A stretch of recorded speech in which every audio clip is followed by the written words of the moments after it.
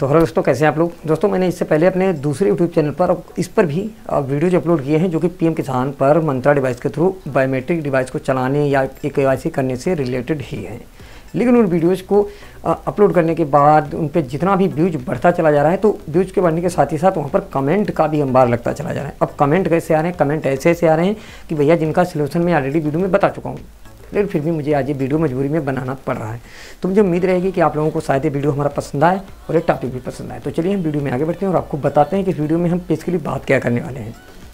दोस्तों, इस वीडियो में हम बात करेंगे कि यदि आपको जो मैंने सेटिंग बताई है आपको इस डिवाइस को चलाने के लिए, जो मैंने सेटिंग आपको बताई, वो सेटिंग आप कर लेते हैं, फिर भी आपके सामने एक इरर आ रहा है डिवाइस नॉट रजिस्टर्ड तो आपको क्या करना है? देखिए एक डिवाइस नॉट रजिस्टर्ड आ रहा है डिवाइस नॉट रेडी आ रहा है M F S hundred not found आ रहा है या नेटवर्क एरर आ रहा है तो इस तरीके की हर एक प्रॉब्लम का सोल्यूशन आज इस वीडियो में आपको मिलने वाला है। दो तरीके रहते हैं डिवाइस को चलाने के लिए। एक तो रहता है कि आप एक्सटेंशन का यूज़ कर लें। दूसरा तरीका ये रहता है कि जो मेरे द्वारा दी गई सेटिंग है, वो सेटिंग का आप यूज़ कर सकते हैं। अब मेरे द्वारा दी गई जो सेटिंग है, वो बिल्कुल फ्री ऑफ़ कॉस्ट है, लेकिन आप यदि एक्सटेंशन कोड प्लगइन का यूज़ करते हैं तो वहाँ पर आपको रिचार्ज भी करना पड़ता है। तो आप चाहें तो रिचार्ज करें, चाहे तो फ्री का यूज़ करें। आप आसानी से आडी सर्विस ड्राइवर को इंस्टॉल करके अपनी डिवाइस को काम में ला सकते हैं। अब कैसे आपको लाना है, वो चलिए मैं आपको एक एक करके स्टेप बाय स्टेप बता देता हूँ।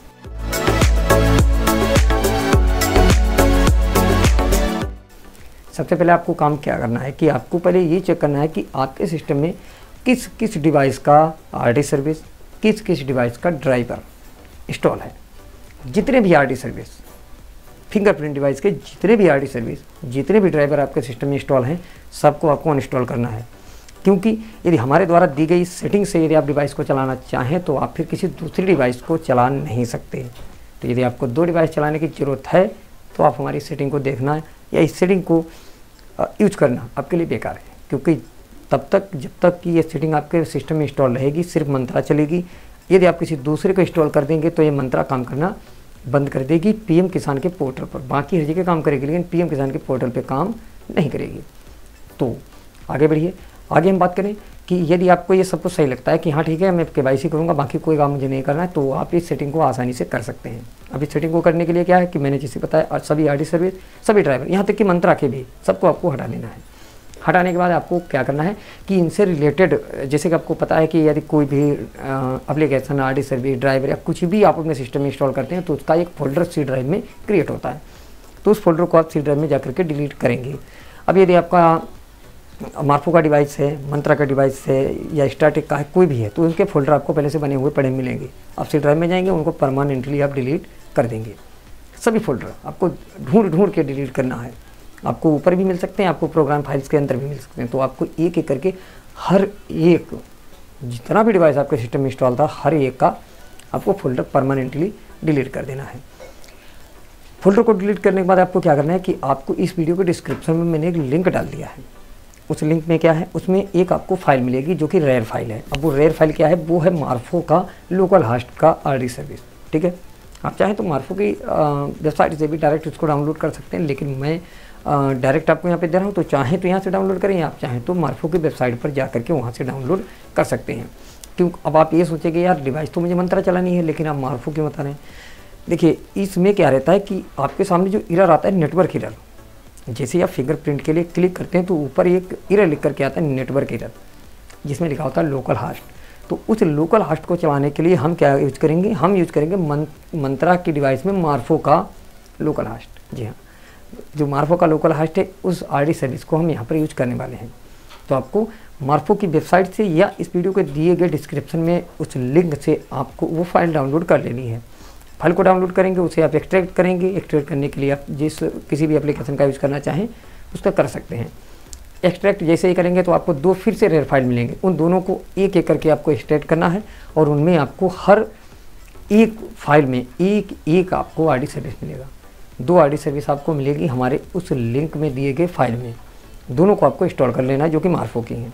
इनको इंस्टॉल करने के बाद आपको सिंपल से क्या करना है कि आपको फिर जाना है मंत्रा की वेबसाइट पे। मंत्रा की वेबसाइट से आपको रियल टाइम का जो अपडेटेड वर्जन है आर सर्विस का, जो अपडेटेड वर्जन है ड्राइवर का। इन दोनों को आपको डाउनलोड करना है। डाउनलोड करने के बाद इन दोनों को आपको इंस्टॉल करना है।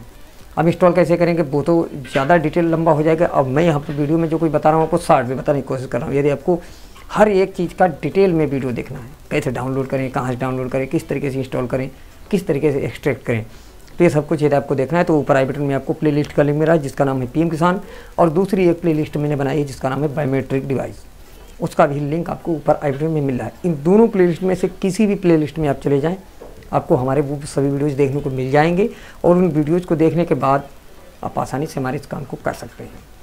अब आगे बढ़ते हैं। जैसे आपने इन चार चीज़ों को, दो आर सर्विस मार्फो का, एक मंत्रा का ड्राइवर, एक मंत्रा का आरडी सर्विस तो चार चीज़ें आपने डाउनलोड कर ली। चारों को आपको एक एक करके इंस्टॉल करना है, लेकिन आपको सबसे लास्ट में इंस्टॉल करना है मंत्रा का आरडी सर्विस मंत्रा का आरडी सर्विस जो है, उसे सबसे लास्ट में इंस्टॉल करना है, ठीक है? जैसे ही उसे आप लास्ट में इंस्टॉल करेंगे इंस्टॉल करने से पहले आप डिवाइस को प्लग इन कर दीजिएगा। या आप चाहें तो करते समय भी कर सकते हैं, लेकिन मतलब हमारे कहने का ये है कि जिस समय पर आप इंस्टॉल कर रहे हैं, उस समय पर डिवाइस लगी होनी चाहिए। तो जैसे ही आप डिवाइस को प्लग इन कर देंगे मंत्रा का, उसके बाद आप इंस्टॉल कर लेंगे इंस्टॉल करेंगे इंस्टॉल करने के बाद आप देखेंगे, कुछ समय तक वेट करने के बाद आपको नीचे की तरफ़ एक विंडो आएगी, छोटी सी आती है।